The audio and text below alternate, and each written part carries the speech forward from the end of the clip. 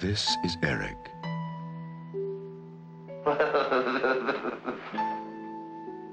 Eric Binford. Double crossing squealers, both of you. I go to a lot of movies. It's my thing.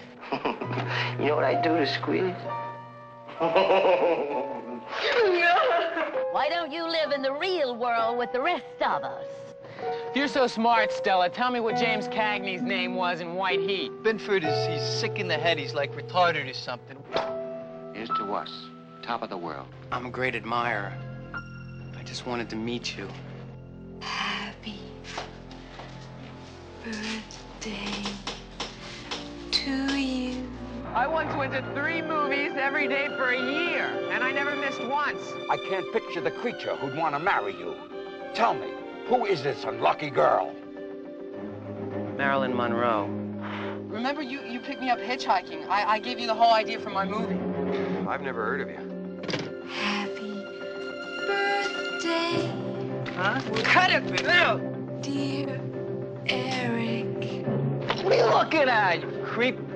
But you didn't know what Adolf Hitler's favorite movie was. Broadway Melody, I bet you didn't know that. And what about Cry of Battle and War is Hell? Where were they playing, huh? Eric Binford lives for the movies. Sometimes he kills for them too. Dennis Christopher, star of Breaking Away, creates an unforgettable portrait of life on the edge of terror.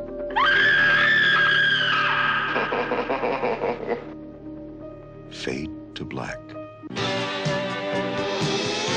Introducing Eric Binford. Happy birthday, sucker. star of the silver screen.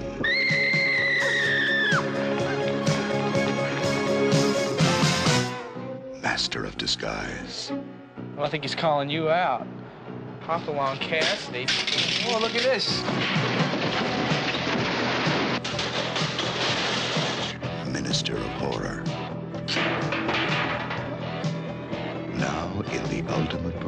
sense of murder.